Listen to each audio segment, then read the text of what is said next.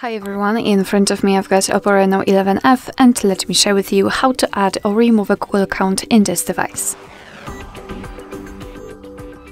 So let's start with opening um, the settings and here we have to scroll down in order to find either users and accounts or Google. It's up to you, I prefer this one, so let me tap on it. And as you can see here, we've got our previously added Google account, but no worries, we can still add another one. And uh, I'd like to start this tutorial with adding the account.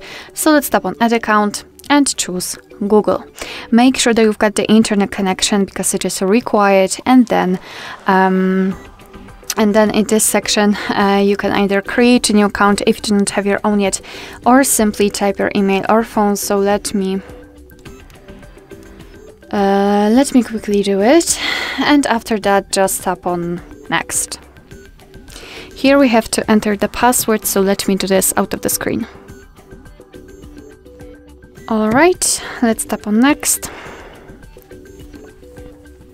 here we've got Google Terms of Service and Privacy Policy, so of course we can read it, just tap on it and there you've got the info, and tap on I agree after reading. I don't want to save it. And we just successfully added our Google account. We have to simply tap on this Google section and as you can see we've got this account added. Of course we can also remove the, um, the specific account. All you have to do is to tap on the account tap on the three dots icon and tap on remove account.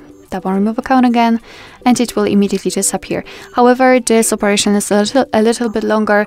If you've got more than one um, Google account added, let me show it to you. Just tap on this account, tap on the three dots icon, tap on remove again, remove, and in this operation you will you should at least uh, have to have much more um, protection but as you can see in this case and it was not necessary Alright, so that will be all. Thank you so much for watching. I hope that this video was helpful and if it was, please hit the subscribe button and leave the thumbs up.